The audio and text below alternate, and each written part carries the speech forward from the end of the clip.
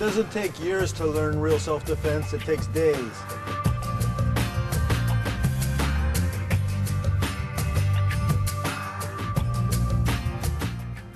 This system's not about techniques, it's about principles.